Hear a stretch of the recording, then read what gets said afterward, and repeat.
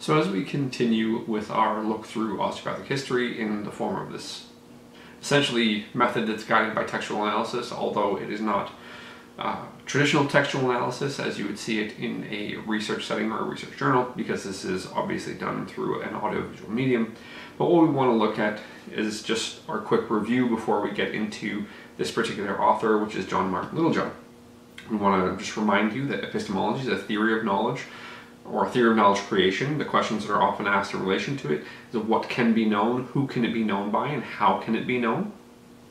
We have a breakdown of epistemologies of positivism, so one singular reality that can be identified through appropriate experimentation, post-positivism, there is a singular reality that can be identified with multiple forms of experimentation, but the researcher does bring issues and needs to be, you need to attempt to control for. So post-positivism, you're not as likely to find that singular reality, but you'll get close to it. Constructivism, there are multiple realities entirely dependent on the individual, environment of observation, and previous experience of the individual. So that's your epistemology review. Ontology is a classification system, so philosophically, it is the study of reality. What is real? You have the bifurcation of ideas are the most real or objects are the most real. And then in science or the scientific sphere, ontology is your classification system. How do you classify reality? What categories do you use to describe reality? Axiology is the value or the values judgments of the researcher. In this case, it will be the authors of the text that we're looking at.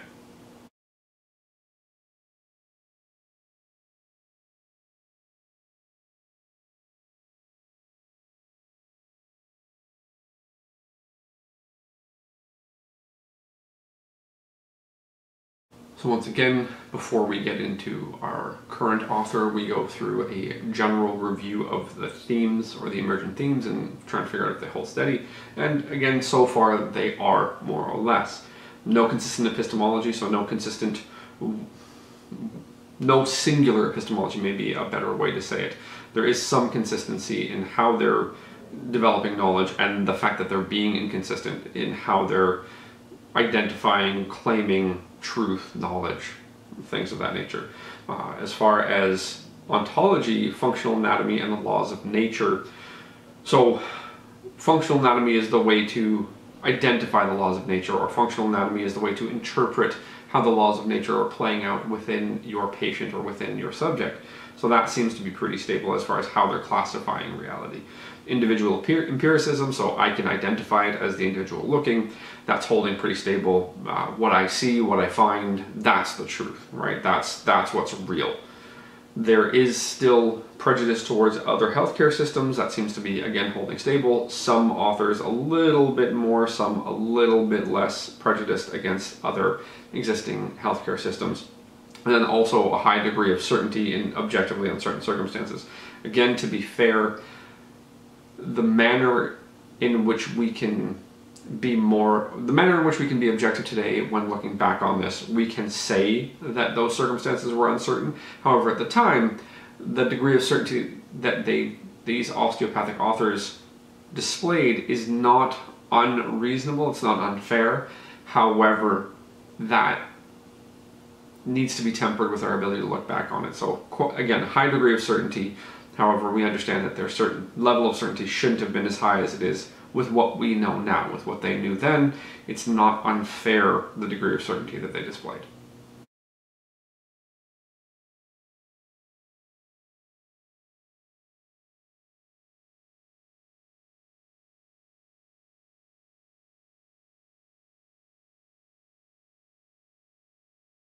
So before getting into the particular text that we've chosen in relation to the author that we're looking at this time in John Martin Littlejohn, we'll just go through a few general kind of overarching stories. Now, there are, in my experience, unclear stories surrounding John Martin Littlejohn. John Martin Littlejohn is a very big deal in the United Kingdom because he is the individual who essentially started the first school of osteopathy in the United Kingdom, in, in England specifically. The particular history of that I'm not necessarily going to go through, but just understand that Littlejohn was a big deal as far as actually being the figurehead of importing the practice of osteopathy to England.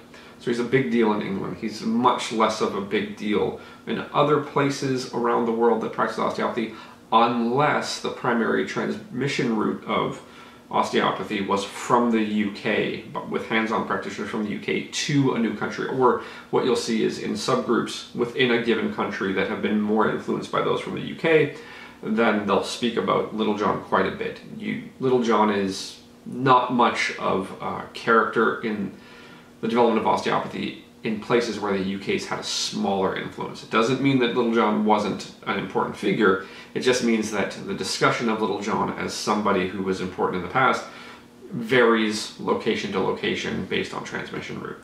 Right, so he did found the, he was part of the founding of the Chicago School of Osteopathy.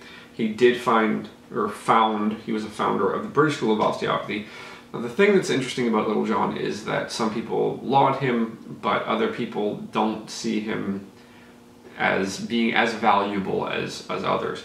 His credentials, right? He had quite a few credentials before going entering the American School of Osteopathy, and his credentials seem to be dubious in their nature. So some of them may have just been awarded to him where he said he earned them, but they were just given to him. Some maybe he didn't even earn or he wasn't even awarded properly. That's a little bit besides the point with him as an individual as far as his value within the profession is concerned. His credentials being dubious doesn't change the fact that he was the primary transmission route for osteopathy as a hands-on profession to end up in England or to end up in the UK, and then the subsequent spread from there. So he does have value despite the dubious nature of his credentials and also some of his personal behaviors, right? So those things don't negate the value that he brings in spreading the profession around the world.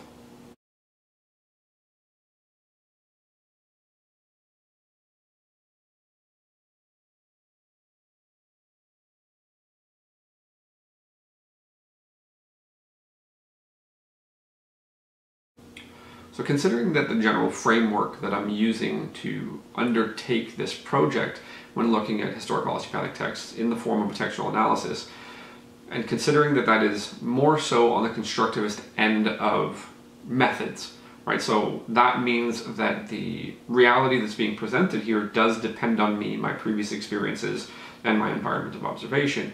So just understanding that I am a part of this, I, my views, my experiences do influence not only how I'm seeing this, but what I'm saying. So in saying that, the two texts that we're looking at here are Principles of Osteopathy. Now, the this has an unclear publishing date, but avail it is available from the Museum of Osteopathic History uh, online. And then also the Theory of Treatment of the Spine, right? So those two texts. So Littlejohn work online that is somewhat difficult to find. It's not impossible, it's somewhat difficult to find. So what I've chosen is things that are fairly easy to find. And to go back to the nature of this being constructivist in methodology, this project, I just want to let you know that for myself, attempting to read Littlejohn's work essentially feels like pulling teeth from an angry hippopotamus. It's not an easy thing to do. It's quite verbose in my analysis or in my viewpoint. Other people may feel differently and other people may have particular points that they'd like to raise in relation to that comment. But I just want you to know that it is that it's quite long, it's quite verbose, it's uh, fairly technical as well. That doesn't mean anything good or bad with it, but when you're trying to pull a point out, it takes a long time, which is why I say it feels like pulling teeth from an angry hippopotamus.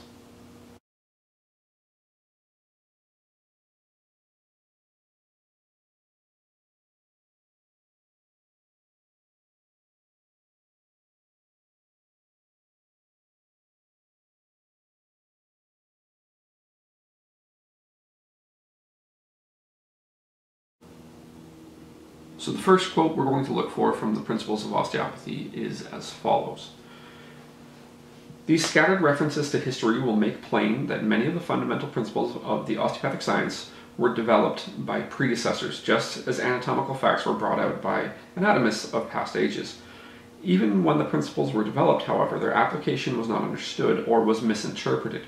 The facts, namely the knowledge was there in the anatomical, physiological, and pathological fields, the practical application was absent. Hence, we must recognize that the work of Dr. Still was not in reality the discovery of osteopathy, but the discovery of a single scientific fact, namely, disease is the result of physiological discord in the functioning of the organs or, or parts of the physiological laboratory of life. The cause of disease can be traced to bony variations from the base of the skull to the bottom of the foot in the joints of the cervical, dorsal, and lumbar vertebrae. The articulations with the sacrum, also the arms and lower limbs. So, the main point of this quote is to say that the observations that can be claimed to be under the osteopathic umbrella were not new as far as knowledge in the general world was concerned, but what to do with those pieces of knowledge, the synthesis of that knowledge, the the idea that treatment can be generated or hands-on treatment especially can be generated from these pieces of knowledge was not necessarily in existence until Dr. Still came and essentially noted that the physiological discord or the relationship of health and disease states to the mechanical functioning of the body, that concept wasn't synthesized well. So he's giving credit to Dr. Still for that. Now, I will note that Dr. Still and Dr. Littlejohn did seem to have some personal strife, uh, neither here nor there. But the idea that is present here is that these pieces of information were all known but not synthesized. It was Dr. Still that synthesized them. And in that synthesis, you're seeing some call to individual empiricism. So Dr. Still noticed this. So everybody else kind of noticed these things. Dr. Still pulled them together, and then he noticed this thing, and then he was able to use his hands, move things around, and that seemed to improve health states. Then also the idea that the ontology, that the that functional anatomy is the way to interpret things is also contained within this quote.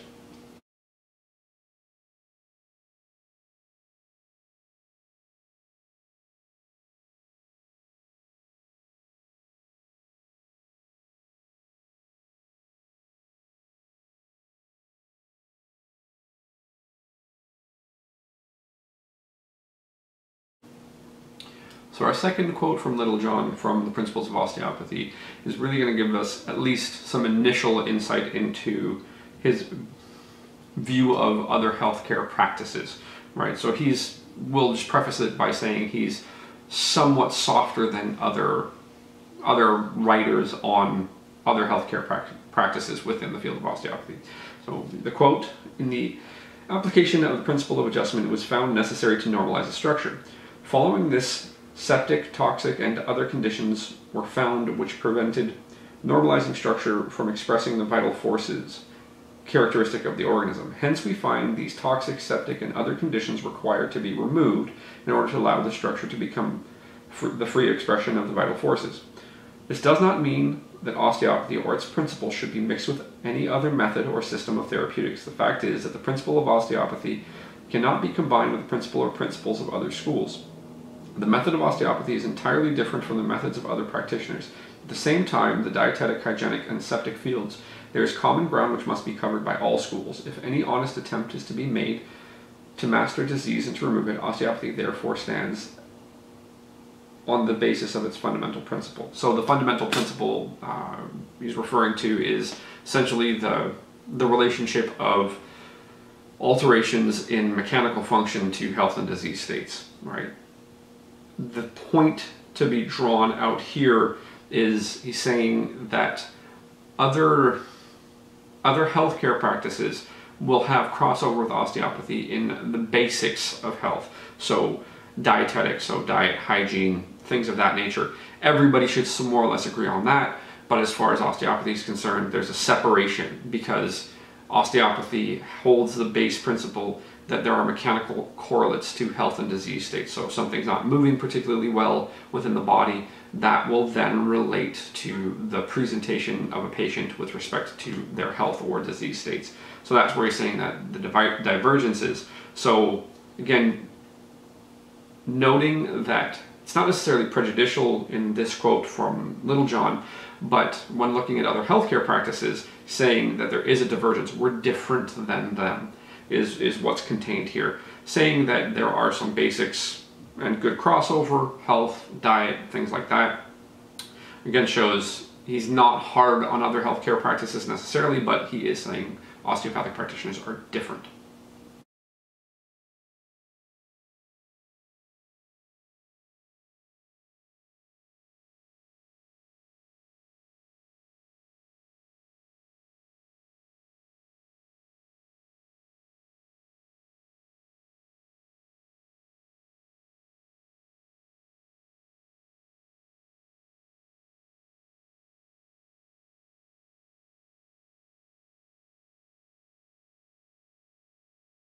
So the next quote from the Principles of Osteopathy from Littlejohn is quite long because it's essentially the, you know, a list of, it's, it's almost like the osteopathic platform. So not quite like Dr. Still's uh, that he puts in research and practice that we didn't necessarily go over in our video on Still, but this is a similar concept, right? So First, osteopathy is opposed to the use of everything that is foreign to the body, but as an organism and as a mechanism, whether found in this form of substances foreign to the proximate principles of the organism or in the form of methods antagonistic to the mechanics of the body. So basically, no drugs is what Littlejohn is more or less saying there. If it's foreign to the body, don't use it. Generally speaking, he's saying he's anti-pharmaceutical.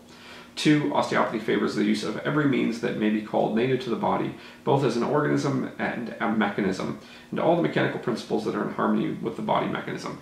So if that's sort of pointing in the gen in the general direction of what will become the concept of body is self-healing and self-regulating.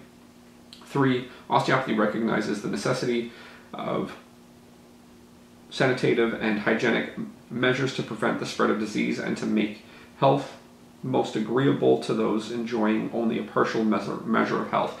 So a major part of maintaining and promoting health, be clean is more or less what he's saying there. So the majority of major jumps in population level health seem to relate heavily to hygiene and sanitation. So sanitation being those things that uh, are based on systems, right? So government run systems, hygiene being more personal.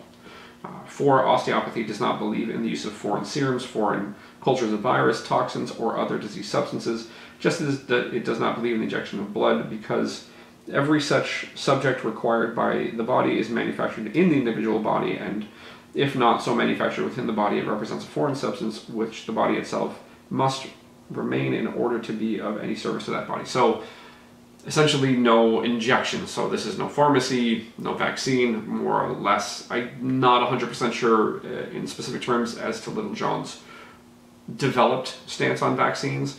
Um, it's probably one of those ones where if you were to take Littlejohn out of his time, he may change his opinion. I'm not going to make a firm claim on that, but what I am going to say here, he's noting don't inject things. Also, if you are injecting things, if it was going to work, the body has to be in good working condition mechanically, otherwise it can't really take it on. So forget the pharmaceuticals because if the body was working right, it would produce it by itself, and if you give the pharmaceutical and the body's not working right, it's not going to use it right, is essentially the argument being presented there. Five, osteopathy believes in operative surgery as a last resort when some portion or portions of the mechanism become a hazard to or organic life. Sorry, I may have read, misread one of those words, but organic life. The final test then for operative surgery osteopathically must be hazard to the body life. Surgery is identical in basis then with osteopathy and not a coordinating system. The surgical principle, according to osteopathy, is not the problem of the removal of the organ or the removal of a part of the structure of the body, but it is the removal of, of a part or organ that has become dangerous to the body, and it is to preserve the organic life that the part or organ is removed. So something that's in you that's not functioning properly, that is becoming dangerous, so let's just say an organ has some form of rupture and it's going to become septic, well, that might kill you. Cut it out, more or less. So he's saying that osteopathy, so surgery in relation to osteopathy is an extension of osteopathy, which is something that Dr. Still said, that again, that we didn't particularly cover when we talked about Still, but that is something that was said by Still. So they're pretty much in line there. Uh, six, osteopathy takes its stand on the principle that the etiology of disease is to be traced to the abnormal adjustment of the anatomical, physiological, and environmental conditions of the organism, that to sure the disease, the cause or causes, must be removed by the substitution of normal for abnormal adjustment of the structure, functioning, and environment. So, when Littlejohn's speaking about the the normalization of structure. He may be broadly speaking about normal motion, normal shape, right? So that's the surgical deal where if it's an abnormal shape, we may have to cut it, or if there's an abnormal growth, we may have to cut it.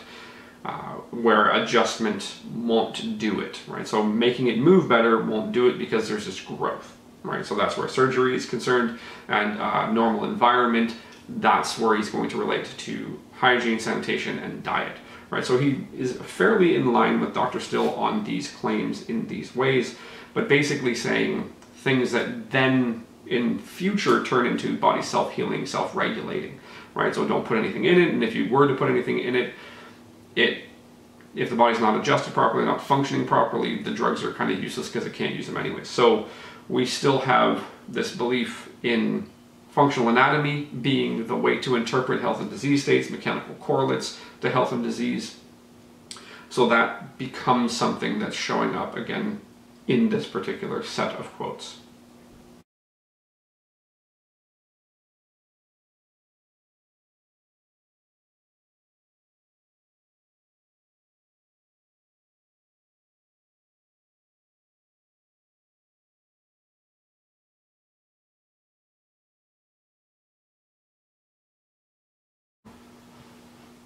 So our next quote from the Principles of Osteopathy from John Martin Littlejohn is going to give us some a little bit more insight into the views or the opinion on other healthcare practices and also he's going to directly mention the concept of truth. So when he directly mentions the concept of truth, then we need to start to consider the concept of epistemology and we can then map that. So the quote goes as follows, we fail to to see the logic of the situation. Allopaths have not a not monopoly on facts. Induction is all right, but if facts simply rest on probability, such a probability can never evolve by logical methods, a universal principle, such as must be evolved if allopathy represents modern scientific medicine. So, just generally speaking, we'll pause there for a moment. Somewhat more adversarial than we saw previously with respect to other healthcare practices. In this particular case, we're talking about medical doctors or allopaths. So we'll go back to the quote. Newton was one of the first great scientists of nature from the particular in well authenticated cases he reached to the laws of nature. Other schools of medicine have experimental facts and these they have been what are called tenets. It is satisfactory it is a satisfactory piece of information to gather that regulars have no tenets. So regulars being allopaths. Truth is truth, however long it may have lain buried in.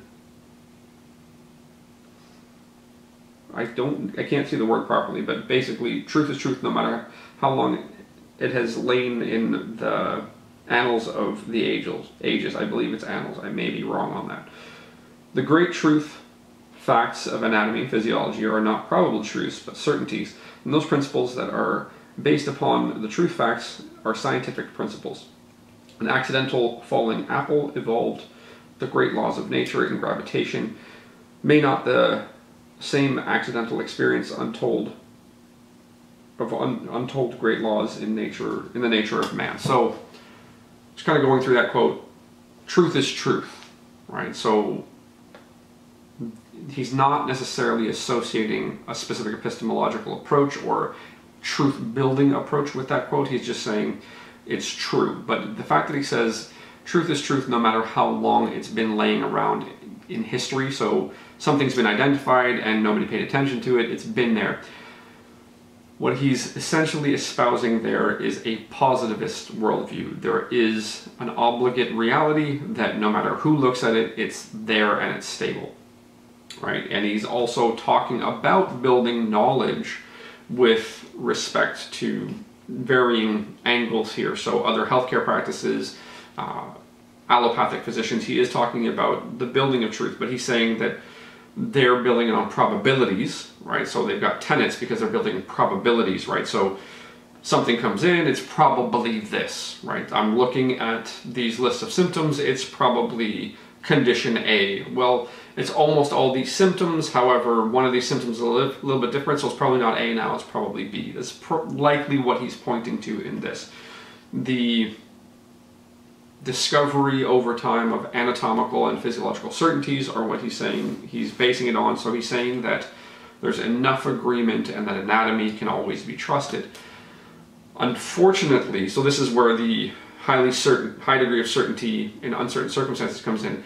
Unfortunately, it is very easy to observe that anatomy is not always the same between individuals. A simple way to view this is situs inversus. Now, they would have known about situs inversus through or flipping of organs from one side to the other based on autopsy, but in a living specimen, unless you have an image, you can't tell that that's there. So they knew, and they also know from dissection and from surgical procedures that not all arteries branch the same, that there are normal variations in arteries, that there are normal variations from side to side between a person. Anatomy is not perfectly symmetrical. Anatomy is not always the same. There's a general schematic that you can draw, and that's what most people learn is the general schematic of anatomy. But it's not always the same individual to individual. So he's saying these are certain, but they're not certain. Anatomy actually does behave as a probability because it's probably like this, but it also may not be, is a way to frame it. So he's being very much a positivist and saying we're better positivists as osteopathic practitioners because the medical practitioners are working on probabilities and likelihoods. We're working on certainties. But because we can look back at this and we understand even things that they did understand at the time, that anatomy is not as certain as one might claim, that he's being very certain in uncertain circumstances.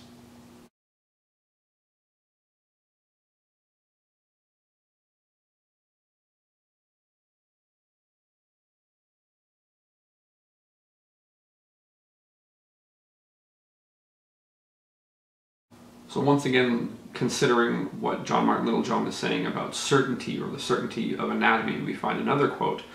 Right, so you're looking at essentially his claim to be a good positivist, but maybe not doing what he thinks he's doing.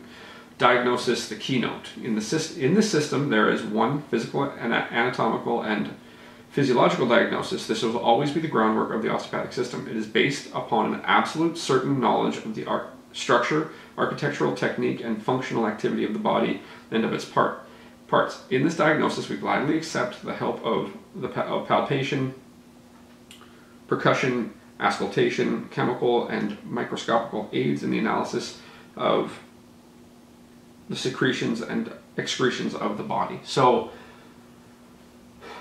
absolute certain knowledge of the structure, so absolute certain knowledge of anatomy. You can have a very good schematic of anatomy, but there are certain things that are obscured from you in a living specimen, in somebody who is not wide open, who hasn't been cut open, who doesn't have trauma and is open, but even then things are different as they present because that's not what anatomy normally looks like or behaves like. That's abnormal because it's traumatic and an injury. The architectural technique and functional activity, the thing that we are aware of and they likely would have been aware of, but maybe they weren't applying methods to highlight this. But if you're looking at assays of excretions or assays of like so something under a microscope or something from uh, a fluid sample, be it blood or, or spit or some other fluid, that there are ranges, there are what would be considered normal ranges of substances within each one of those things. And you can even be above or below those ranges and still be normal for you. So there's we know in examining excretions and other things that variation is the norm. There are ranges that seem more normal than others, and you can be outside of those ranges that can be normal for you. So he's saying absolute certainty with respect to physiology. Well, absolute certainty with respect to physiology means that you have to accept that there's a range. So he's being very certain in at least with respect to anatomy, an un, unknowably uncertain thing at the time, and he's being very certain with respect to physiology, which likely they would have known that there were ranges, that not everybody had the same amount of stuff per unit in, in their blood compared to other people. So being very, very certain The nice thing is that what he is saying is that he's looking for evidence, right? He's looking for evidence to understand what's going on. Uh, and that evidence he's looking for in functional anatomy, more or less. Now, functional anatomy, you can argue, would include some form of physiological processes. So it depends on how you'd like to term that. But realistically, he is looking for evidence. He is trying to say we rest on this foundation. So the ontology is present again because he's talking about functional anatomy. Now he's introducing a little bit more of a focus on physiology and the willingness to use means other than palpation. So things like uh, tissue tissue samples.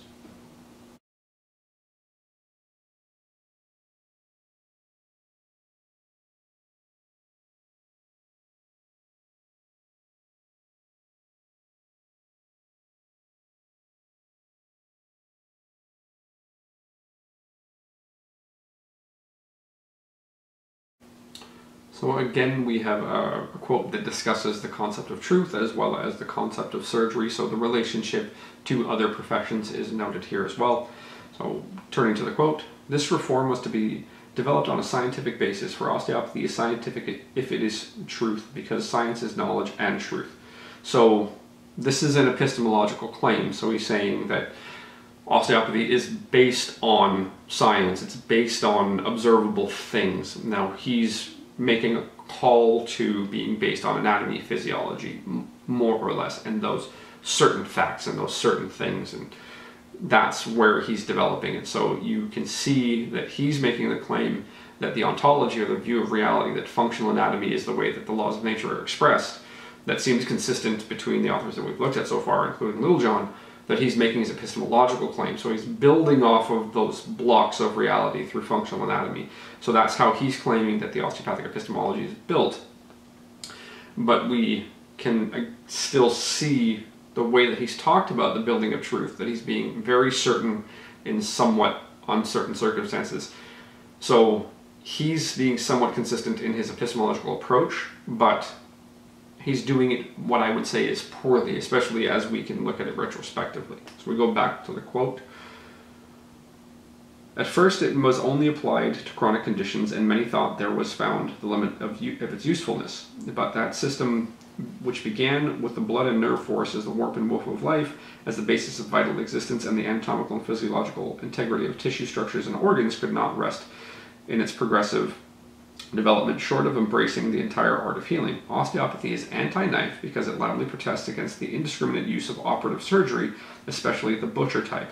But the osteopathic principle which we laid down, the self-sufficiency of the organism of and in itself as a self-recuperative mechanism, recognizing that when traumatic conditions produce a solution of continuity continuity in the osseous, ligamentous, and muscular structures, there must be a method of repair founded upon mechanical and physiological principles. So the relationship to other professions, he's saying that the allopaths are essentially butchers, that they'll just cut anything, whereas the osteopath will use surgery when there's a disruption to the continuity of tissues, right? So if something's ripped, torn, broken, they would use surgery at that point, and also if likely if there was what could be deemed an abnormal growth, you'd cut it out.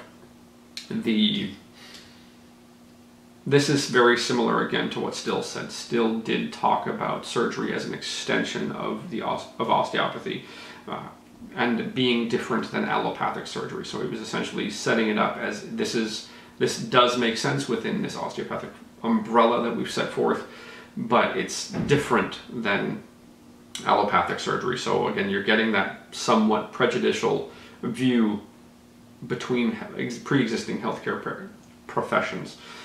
And you're also seeing that the epistemological claim, the knowledge building claim, is we're building it on these facts, right? These definite certainties of anatomy and physiology. When, if they were looking at appropriately, even at the time, it was observable that although anatomy and physiology give you really good schematics, there's differences between individuals. So, anatomy and physiology, if you were to map it onto on epistemology that we've discussed, it would basically be post-positivist, right? So there is there is an underlying reality, with respect to anatomy and physiology. However, there's differences. It's not always the same, and it can't always be found immediately, especially with respect to external work, right? So working hands-on on the outside of a living body, there's a lot of stuff that's obscured for you from you. So there is an absolute underlying reality within that individual body, but you don't know if it's the same or different from previous bodies, right? So you have obscured information. So he's making the best way to describe what he could be doing is he's trying to be a positivist, but really, realistically, what he's claiming or what he's looking at with functional anatomy and physiology being the basis of the epistemology or the basis of how things can be known, it really should be more, or there's a better argument for it to be post-positivist in, in its nature. So he's being a positivist, but maybe he'd be better off being a post-positivist.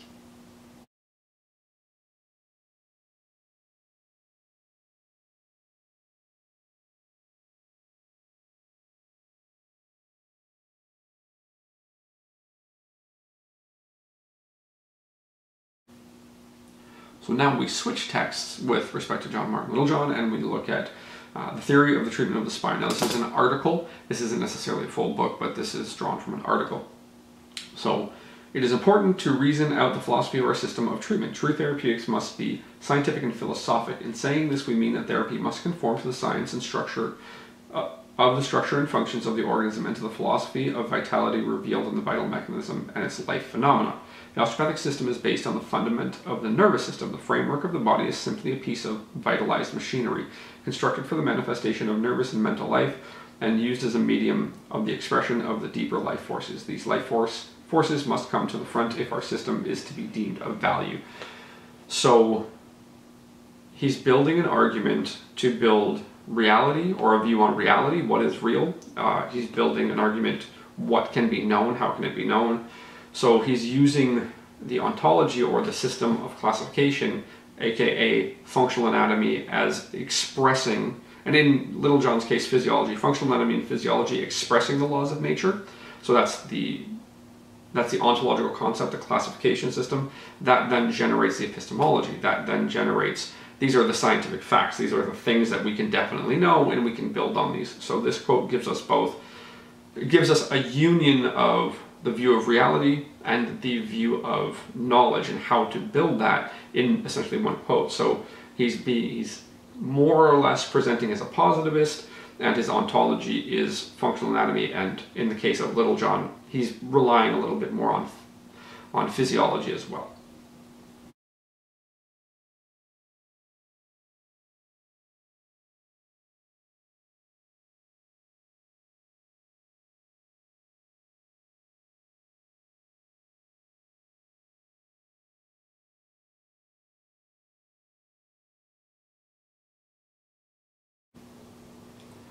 We look at a quote from the theory of the treatment of the spine from Littlejohn again.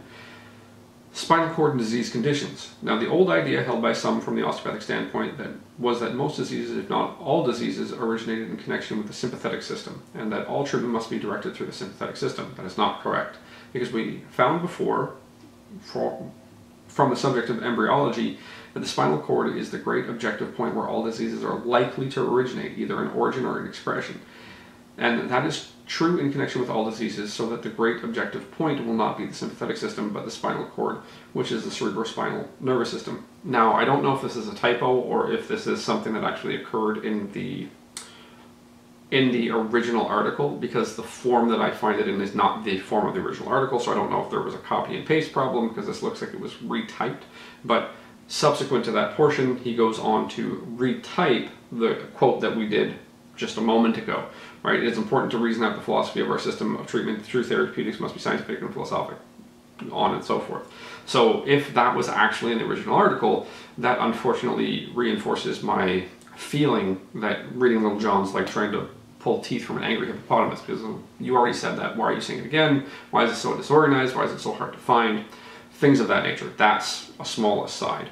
But to go to now, the old idea held by some from the osteopathic standpoint uh, that diseases are sympathetic. Well, he's like, no, they're cerebrospinal, right? Because the sympathetic system is part of the cerebrospinal system. And there's this weird argument happening here not necessarily in plain sight, but you can, if you have previous information, so again, this is somewhat of a constructivist thing whereby my previous understanding does matter to how I'm going to interpret this, how I'm going to look at this. But the sympathetic system and the cerebrospinal system, as far as physical location, are quite proximate. Also, both out of direct reach of an osteopathic practitioner, unless somebody happens to be cut open or traumatically open. Uh, if you can ever see a sympathetic ganglion in today's world, make sure that you call an ambulance. That person's in real trouble. But the idea that the way into these things is to move the bones of the vertebral column. So if you're moving the bones of the vertebral column and that's how you're treating the sympathetic system, well, if you're moving the bones of the vertebral column, you can then make the argument that you're treating the cerebrospinal system. So it's this weird argument happening here. But again, he's saying, he's making a positivistic claim, but he's also noting the development of the knowledge, how the knowledge is being built through experience. So you can make some connection to that being through individual empiricism, or you could make it being more collective empiricism, but the observation over time does matter. Now that is a good way to build knowledge, is to iterate, to start from, start again from the new point, right? So you learn thing one, so you kind of go up, and you start again from that up point. Now, even if that's not correct, you're still going along in the process of learning. That's an iterative approach. But the, you know, the, he's making this firm claim, but he's also saying from embryology, we know that it's most likely that diseases originate in the cerebrospinal system. So firm claim, but he's still kneecapping it a little bit. He's still kind of cutting it off at the knees by saying most likely. So showing some uncertainty in the way that it's spoken, but still essentially conveying a fair amount of certainty.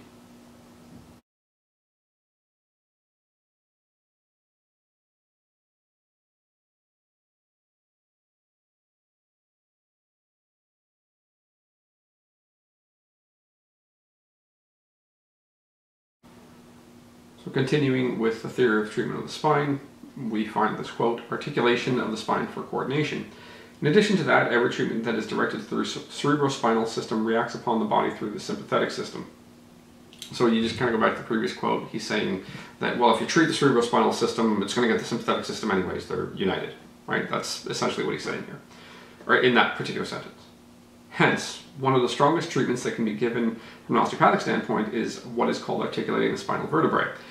That is done by taking each one of the vertebrae down along the spine and moving it. There's a certain degree of mobility in every one of these spinal vertebrae, in some more than in others, but there is a certain degree of mobility in every one of the vertebrae, and in articulating the vertebrae, we directly affect the spinal cord. Now, the cerebrospinal system is the great center of reflex and autonomic activities. Here we include the medulla, which is really the spinal bulb, and that means in relation to the entire organism, so that if you articulate the spinal column and in that way appeal to the spinal cord, you are appealing to the body through the sympathetic system. In other words, establishing order through the great control, the great central nervous system, which has the control of order in the body organism.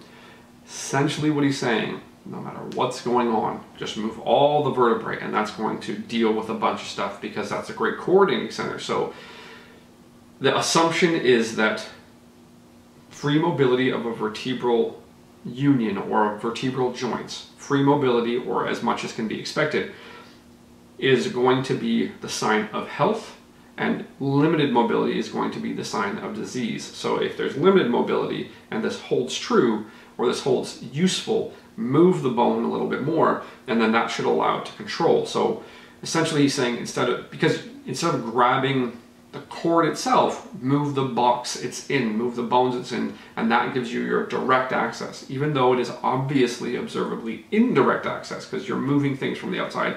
You're not even directly moving the bones. You're moving from the outside to the inside. It would be the argument. So he's saying you have direct control over this coordination by making sure you move the bone. So basically he's like, well, what do we do about condition A, B, C, D, E, F, whatever you want to talk about? Littlejohn's answer is, as far as the spine is concerned, move them all, right? It's just a very generalized approach. Just move them all, and that'll create the coordination. But the assumption is that free mobility of the vertebral joints means health, limited mobility means disease. There's no inclusion of the reality that through a lifespan, there's ossification of varying tissues throughout the vertebral column, whereby you lose mobility. And it happens at varying stages for varying people for varying reasons. So this unfortunately doesn't hold as true as you would like because people are different. They lose mobility at different rates, which is normal across a lifespan. So he's making this argument that free vertebral joints is health, limited motion vertebral joints is disease. Just move it, just move them all, right? That's his answer. So somewhat dubious in what we understand today, but to Littlejohn, obviously this was clear.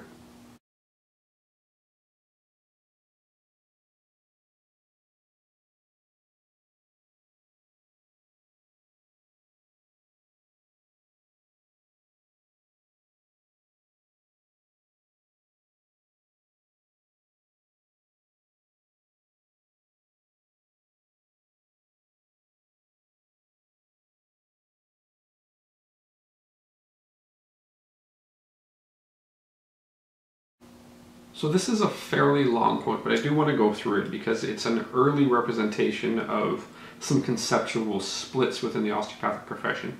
Again, not necessarily know, not necessarily everybody's going to know or have been exposed to the concepts in the way that I have or agree with me, and that's okay. But there's a little bit of a split between people who are more physiology and more anatomy, right, within the profession. You can draw that as a broad bifurcation. So you see a little bit of dissent beginning with the first osteopathic book through Elmer Barber, where he was essentially saying that Still didn't figure anything out necessarily. He just was more organized in his approach. So you see some dissent there, and that not everything was subluxation uh, or or I don't remember the particular term off the top of my head, but essentially dislocation. So I believe that's the proper term. That Barber was saying not everything was a dislocation not necessarily subluxation, but not everything was a dislocation. More often than not, it was just tight muscles, and then Still was more along the lines of dislocation.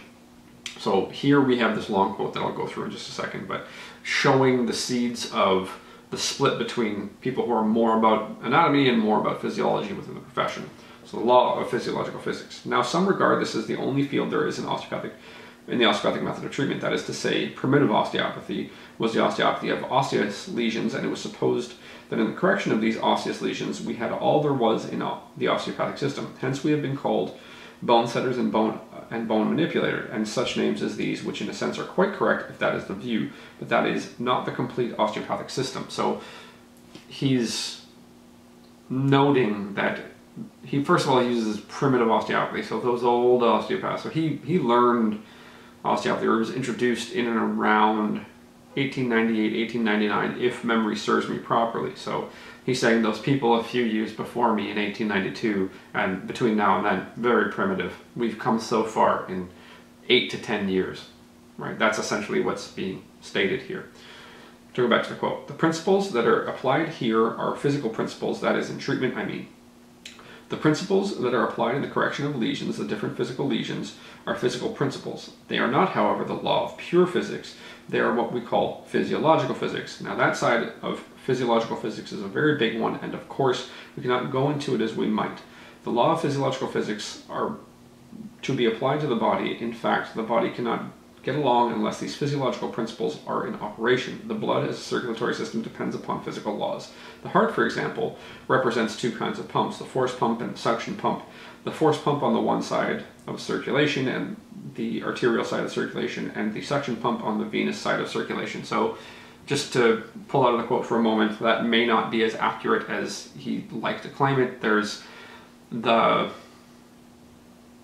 you you can make the argument of some form of suction uh, in relation to change in partial pressure within the thoracic cavity and the abdominal cavity. You could also make the argument that it's more so about the movement of the diaphragm and the pumping of the diaphragm on the inferior vena cava.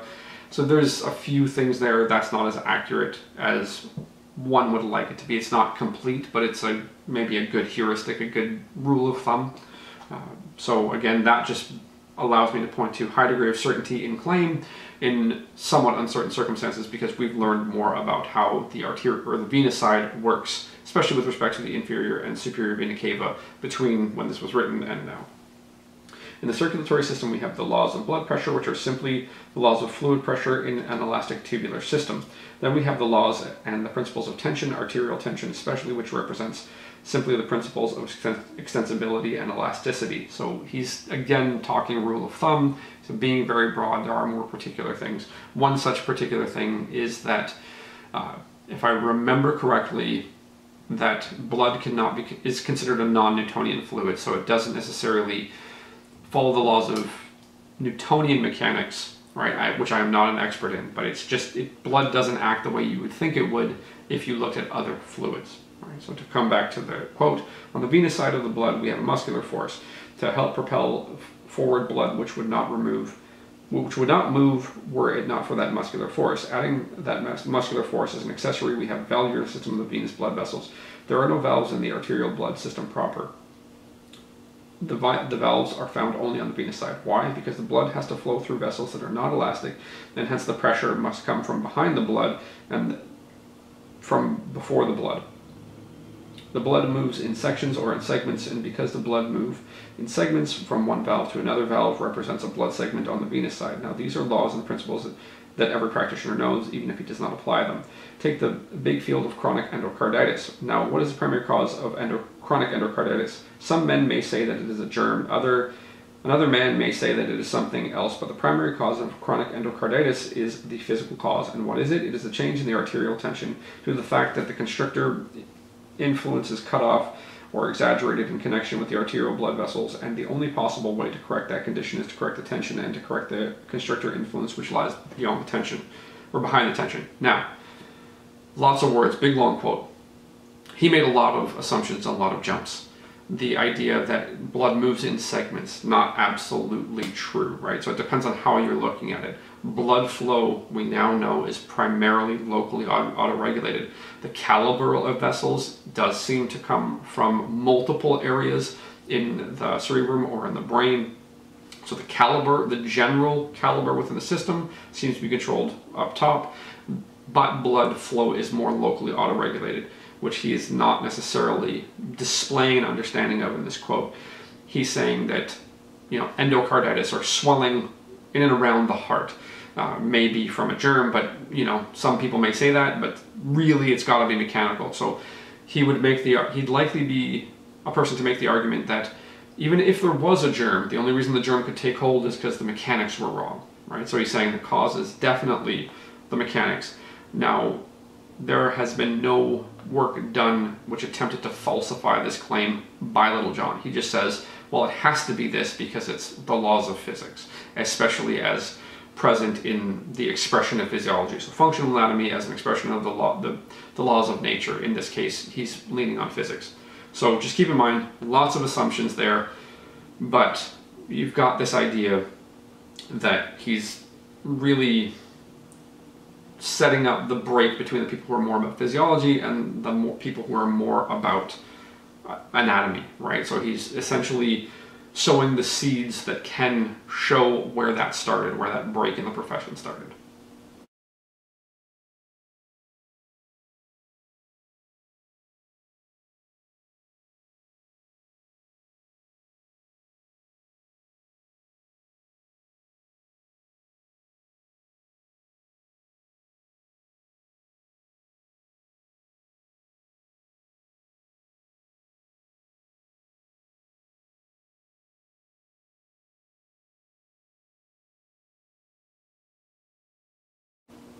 So the final quote we're going to get into from Littlejohn is another long one. So we'll read through it and we'll probably break out as we go through the quote. But the, the th thing that's of great interest to foreshadow what we're going to talk about just through this quote is that all these fancy big words, physiological physics, coordinating cerebrospinal system, he here gives you a method to do that, which is quite straightforward in actual practice. So that's just essentially your foreshadowing, but we'll go to the quote. Hence the first great primary treatment from the osteopathic standpoint in correcting those reflex disturbances is to co-opt the operative activities of the spinal cord and the sympathetic system. Now, that is the reason why we speak so often of constitutional spinal treatment. What does constitutional spinal treatment consist of? The constitutional spinal treatment consists, in the first place, of correcting muscular, osseous, or articular lesions that are found along the spine.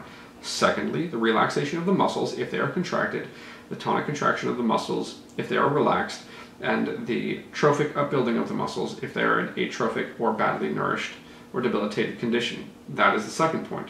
So he's the muscles are the wrong tone. They're either shrinking, atrophied, they're hard, or they're soft. Either way, you got to get them just right. So it's like a Goldilocks concept that he's talking about here. Back to the quote. Third point, the stimulation of the spine from the suboccipital region down to the coccyx on both sides.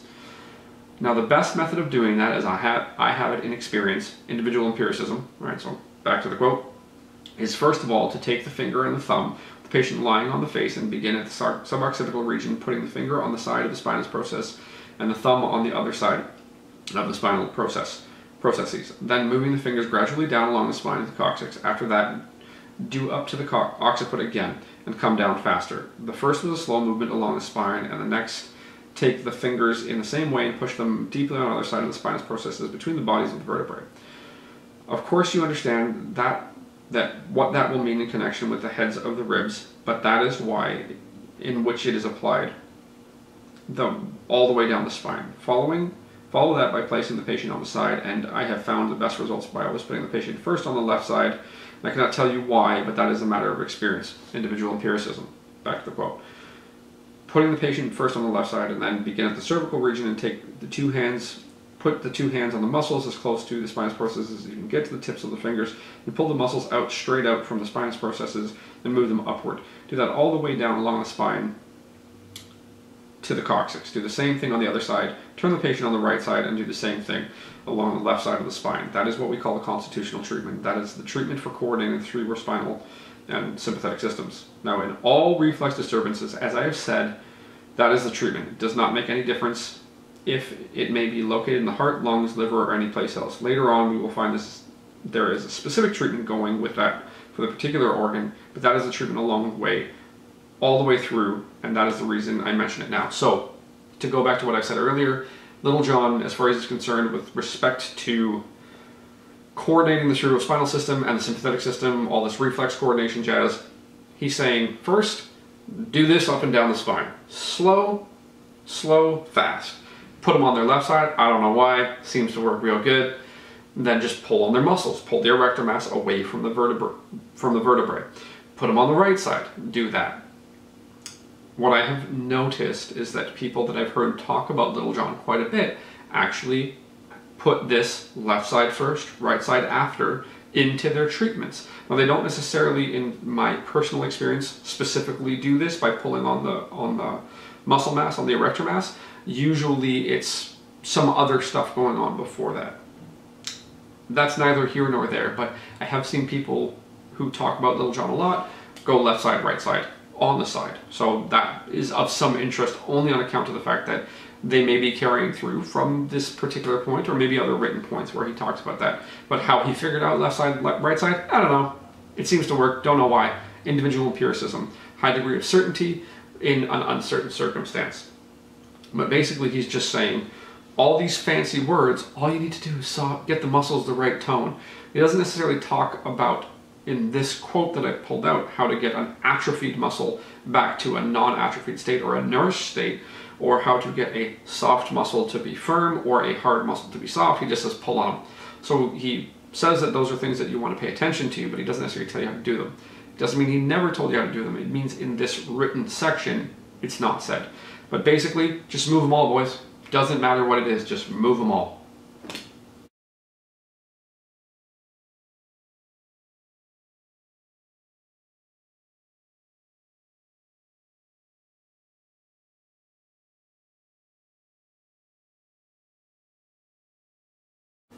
So after looking at the quotes that have been pulled out of the work of Littlejohn that we've examined here already, we want to consider emergent themes again. So in considering emergent themes, what we're starting to do is consider whether or not the themes seem to be stable between the authors that we've looked at. So the emergent themes seem to be quite similar. The inconsistent epistemology, especially between people, right?